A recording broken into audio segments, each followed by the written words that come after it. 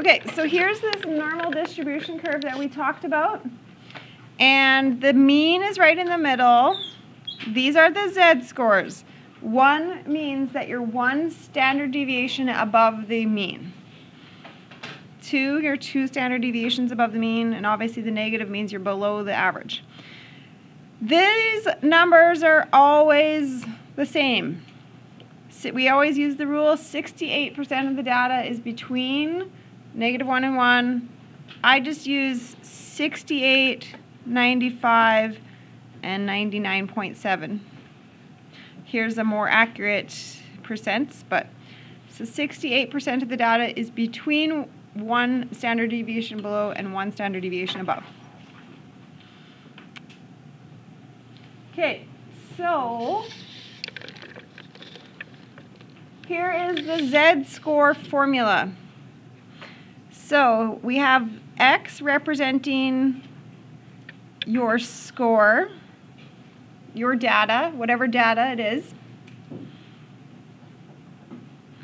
This U symbol is the mean, and then you're like, well, last time we used an X with a bar over it. There's two symbols, one means the population and one means in a sample. So I think when I, I got to print you a formula sheet, I think I put it on something nice for you. I got to print that though. And the U with the hook is the standard deviation. Oh, I guess it just told me that right below there.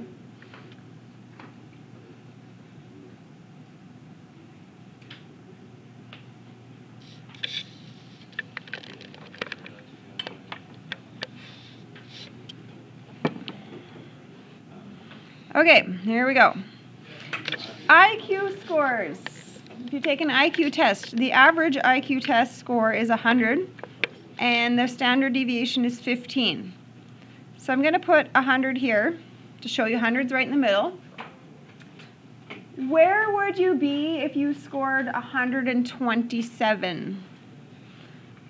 So let's just, we don't have to do this every time, but I want you to mark down, this is 115 this would be 130 and this would be 145, right?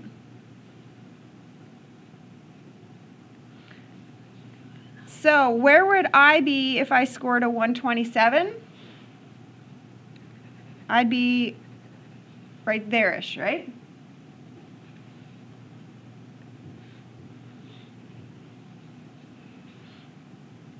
Find the percent of the people that are below me.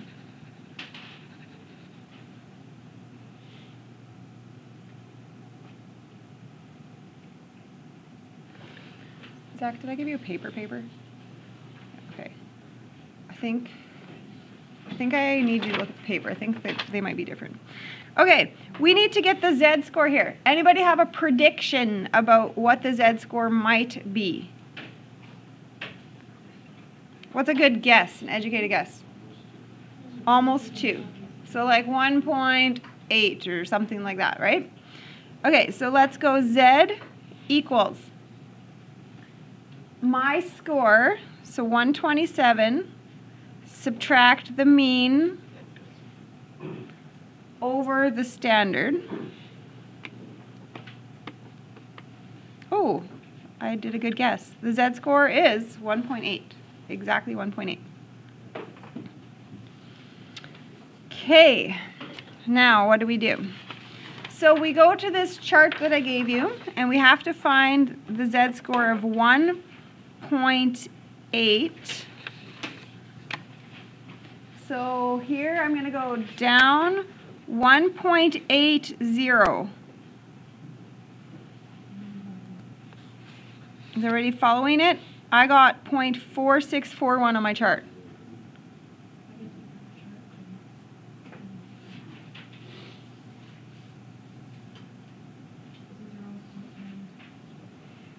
One point eight zero? Are you like on that line? What? What do you mean it's different? Oh, okay. Are you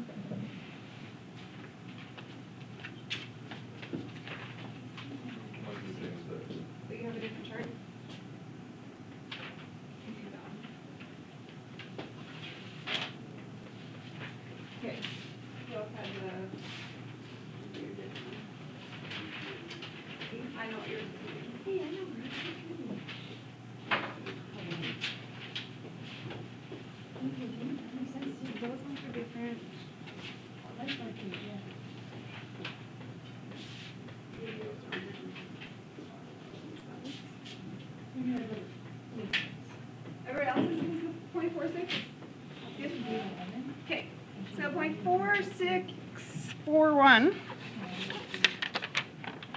Okay, what does that mean in the chart?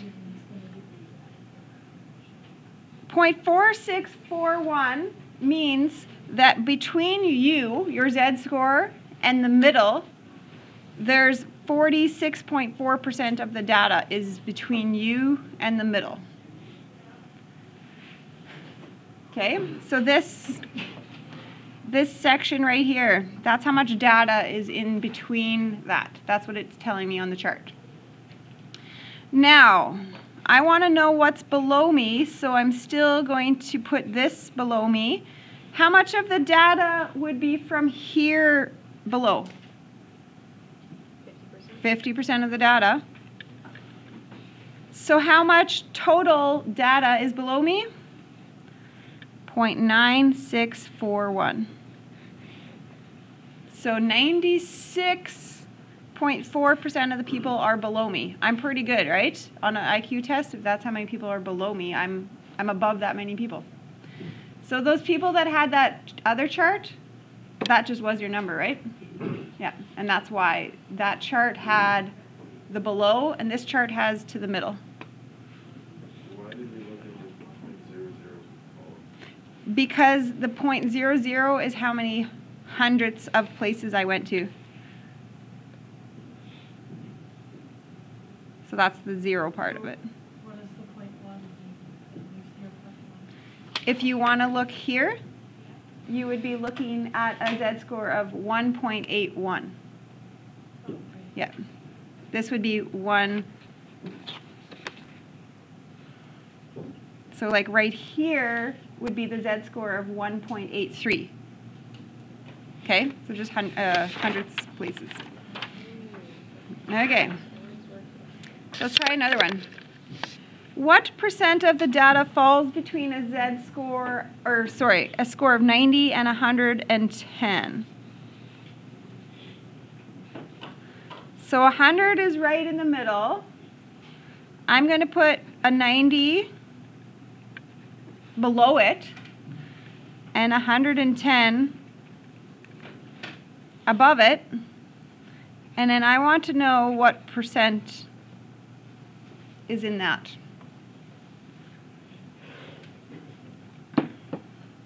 Okay, so let's find the Z scores.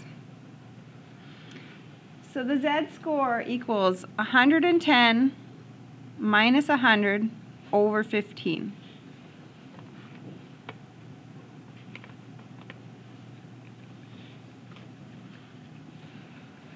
So I'm getting a 0.67. I'm also going to find the Z score of 90.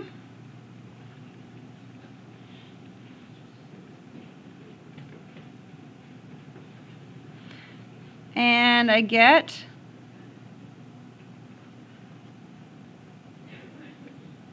negative 0.67, right? Does that make sense to you? Because you're below the average, you have a negative Z score? Okay, so this chart, you're going to look up 0.67. So I'm going to go to this line that says 0.6, and then I have to go all the way across to the 7. So 0.67. Did you find a 2486? 0.2486. So what does that tell me?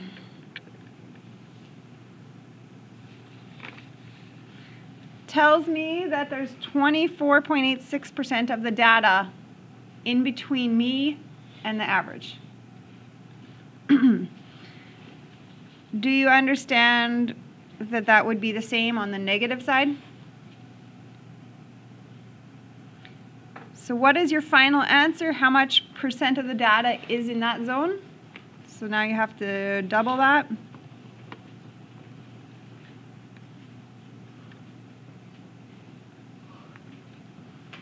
so 49.72% of the data falls in between.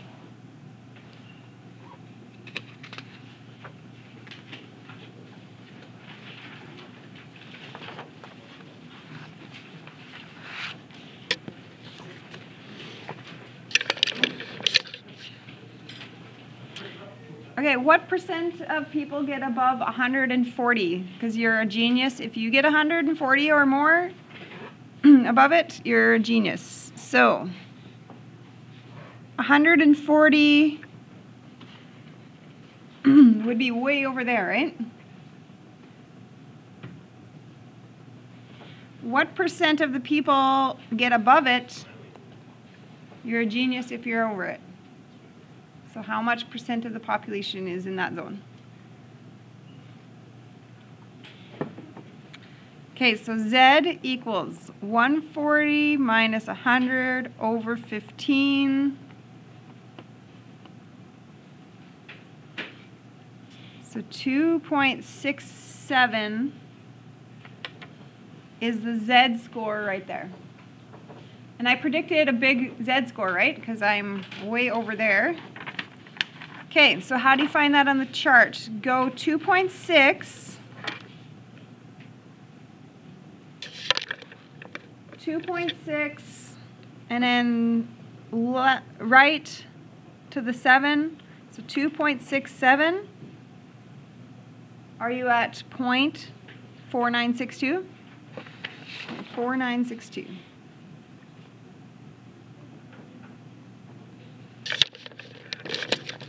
So what does 0.4962 mean? That's the percent between me and the middle.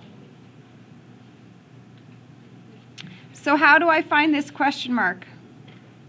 What would I do to get that?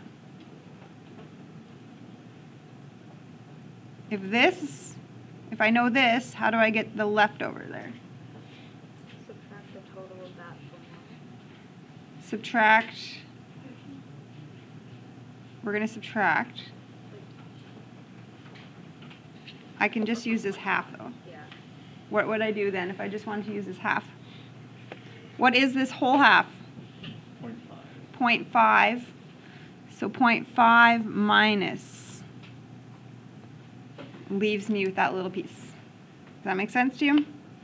50% is over the half, and if there's that much in between, so that is 0.38% of the population. So a very small part of the population.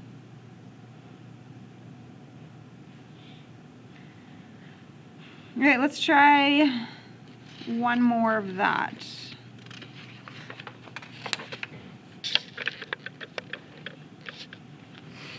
Okay, this time I just gave you Z scores. So again, here's your middle.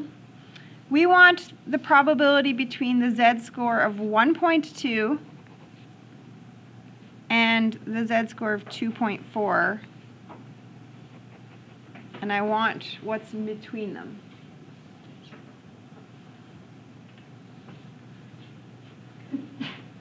Okay, so give me the chart number with a 2.4. 2.40.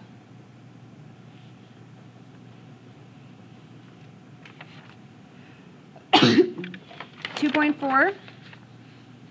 Are you getting forty-nine eighteen? That one? So what does that mean?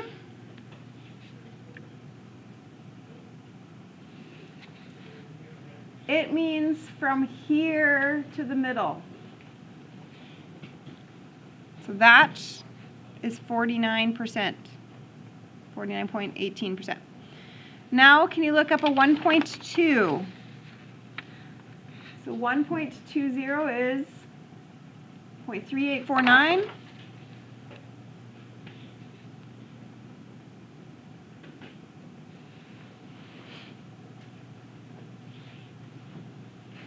And what do you want to do with those numbers?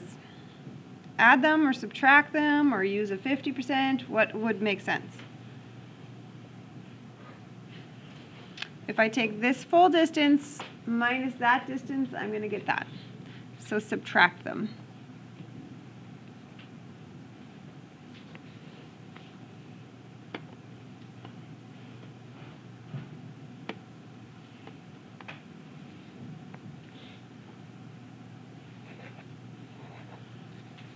So 10.69% of the population is between.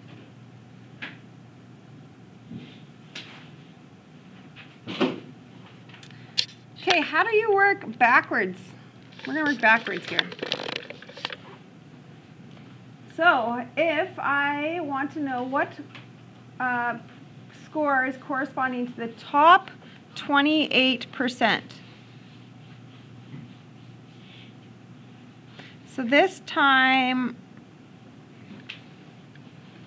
this time I'm telling you the percent and getting the Z score.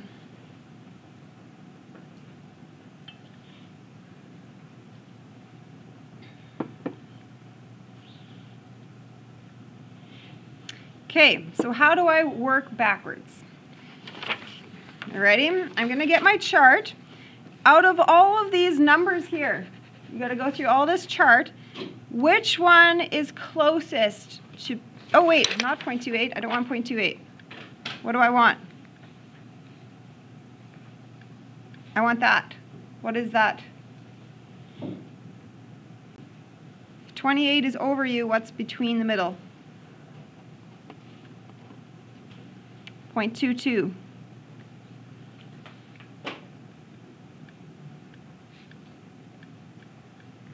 So I'm looking for a 0.22, as close to it as I can get.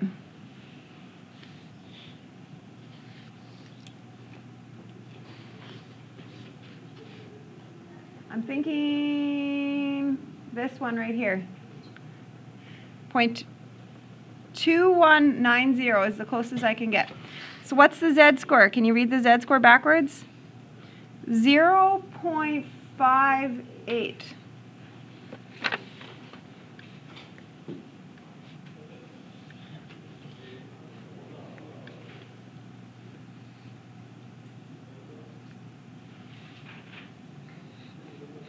Okay, so the same idea here. I want, it says the bottom 10% and the top 10%. I want to know the Z scores related to that. Okay, don't look up point 10. Think about what's the middle to the middle percent. It's always, this chart goes always to the middle. So I'm going to look up, I'm going to look up a point four zero.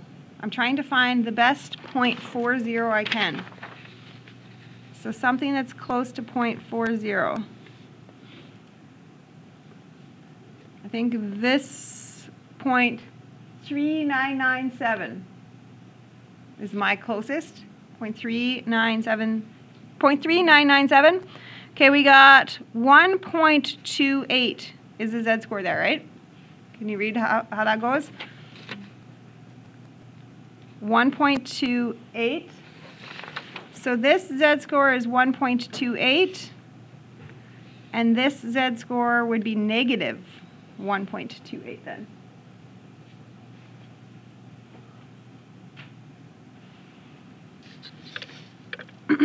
okay, we're going to add all that last step together. Okay, find the score that corresponds to the top 5% of our IQ tests.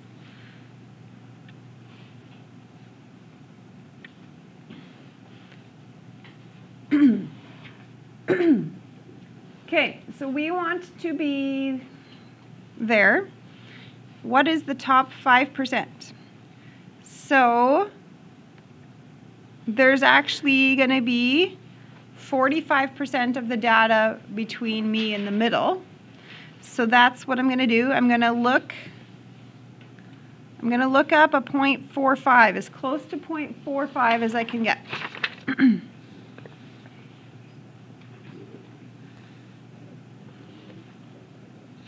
Okay, here is what I'm finding. I'm finding these two. They're both the same closeness, right?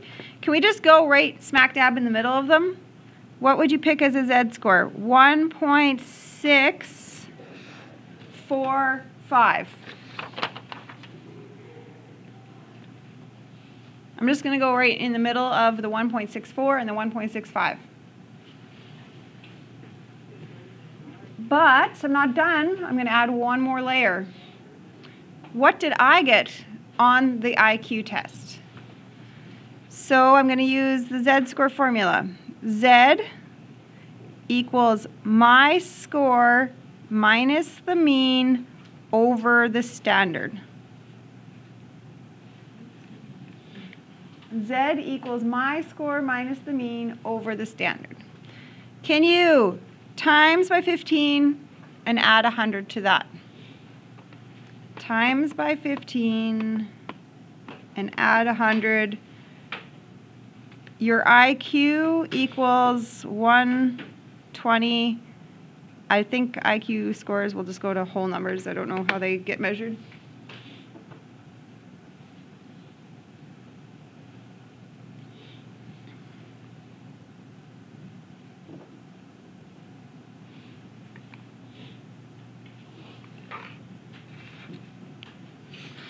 Okay, the last question of the day. Find the score that represents the top 70%.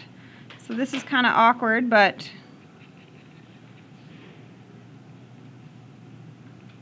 the top 70 cent percent, I don't know why it's not the bottom 30, but so this is where I am.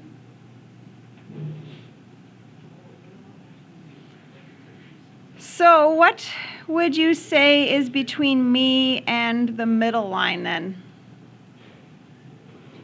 Point two, because this is the 50, so 70 minus 50. So I got to do a chart lookup.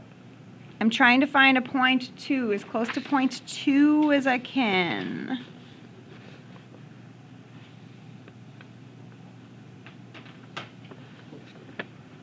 I think I'm going to do a middle value again. Because point two is almost in the middle of those. So I'm going to go 0.525. 0.52, It's right between a 0.52 and a 0.53.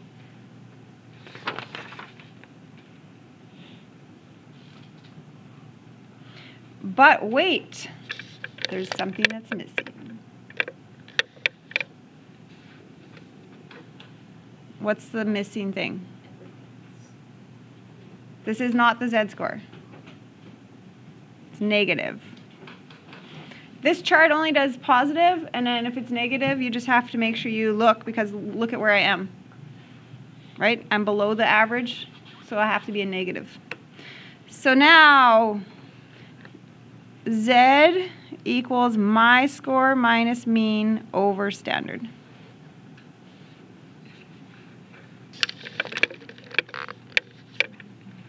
Okay, so that would be something that'd be easy to forget because you're looking on this chart and everything's positive on the chart. So it's kind of like when we did trig. Make sure you understand negative as a location.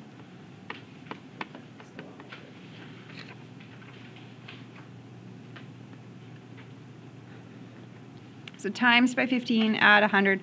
And let's just pretend you forgot.